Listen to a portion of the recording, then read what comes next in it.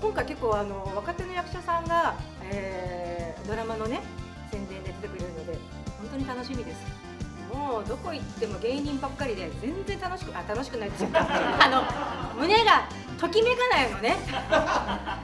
本当に小さい頃からこの番組見てたので本当に出たかったですっていう方がたくさんいらっしゃるのですごい嬉しくって答えを教えてあげようと思ってます全く嫌ですね。あのアーチェリーもプレッシャーありますし走るのきついですし。これだけ30年以上もやってると本当に小さい頃から見てたっ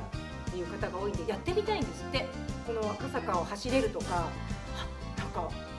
すごい皆さん協力的だなと思って。私はいろんな裏側とか知ってるんでそんなにいいのかなって思ってるんですけど。